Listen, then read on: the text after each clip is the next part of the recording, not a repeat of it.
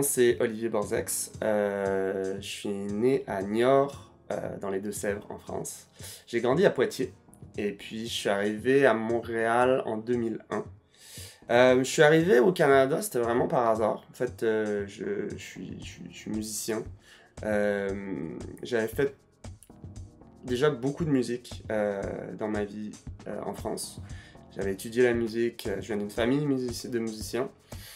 Et puis, euh, j'avais des groupes de musique, un label, un fanzine. Euh, je faisais du métal et de la musique classique. vraiment comme dans les deux extrêmes.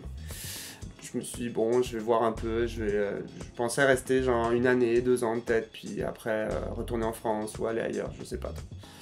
Et puis bah, finalement, je suis resté ici. Ça fait 19 ans que je, je suis ici. Puis je suis très, je suis très bien ici.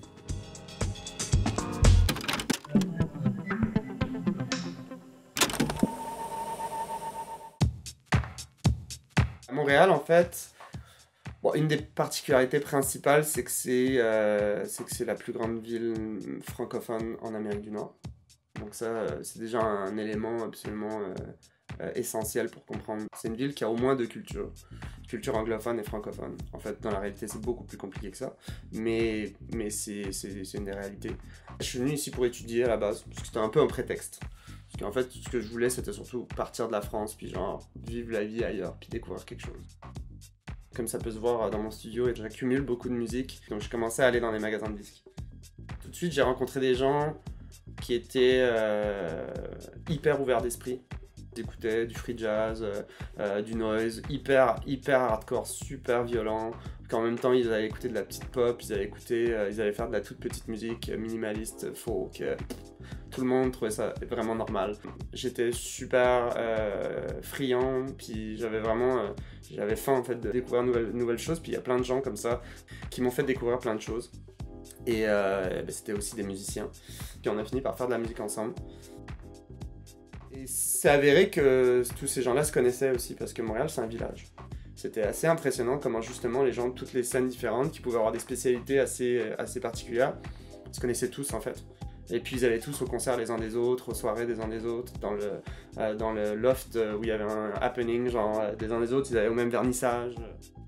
Je pense encore maintenant d'une certaine manière, mais vraiment plus à l'époque, c'était vraiment genre complètement perméable toutes les, toutes les scènes artistiques ensemble quoi. Et ça c'est vraiment, ça a vraiment été plus ma période expérimentale en fait. Il y avait déjà les graines entre guillemets de, de, de, de la musique répétitive, pour le corps finalement genre parce que finalement c'est ça genre la musique la musique de danse en général c'est la musique qui est assez répétitive puis qui est là pour faire pour parler à ton corps à ton cœur et à ton esprit mais beaucoup à ton corps beaucoup plus que plein d'autres musiques euh, j'avais déjà accumulé plein de disques donc à un moment un moment donné c'est devenu vraiment genre naturel de commencer à vouloir essayer de mixer les disques ensemble puis devenir DJ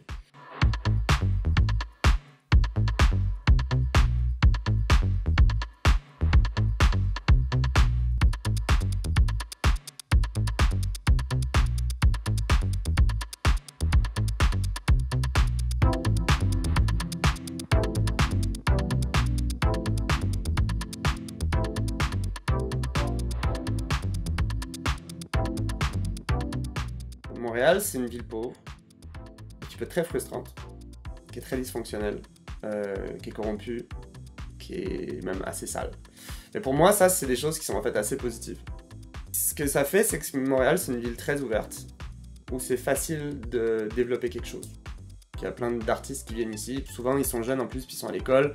Donc, euh, ils veulent faire la fête, ils veulent euh, développer des projets, ils veulent euh, s'associer avec des gens, sortir des disques, partir un label, partir une soirée, partir une galerie, faire une série d'événements, avoir un, show de radio, bref. Il y a tous ces gens-là qui, sont prêts à, qui sont prêts à faire des choses. Quand il y a quelque chose qui meurt, tu sais qu'il y a quelque chose qui va renaître dans pas trop longtemps. Enfin, Montréal, si je dois le définir par quelque chose, il y a une inconstance culturelle l'identité québécoise est assez ouverte, assez douce. Elle se laisse facilement influencer par d'autres choses. Par exemple, Montréal a une grande histoire avec le disco. Mais euh, c'était la troisième ville du disco en Amérique du Nord. Mais quand tu parles aux gens à Montréal de ça, en général, ils te regardent avec un air.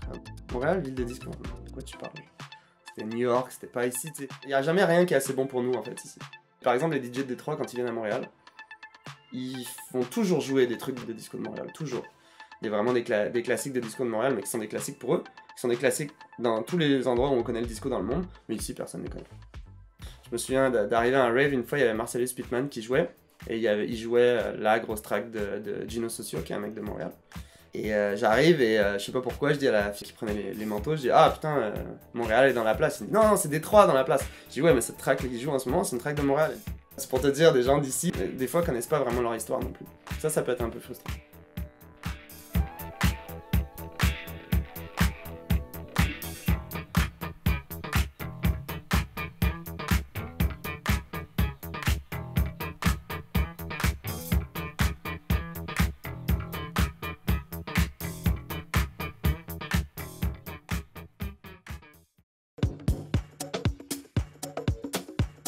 Le plus simple, ça serait de savoir ce que j'écoute pas.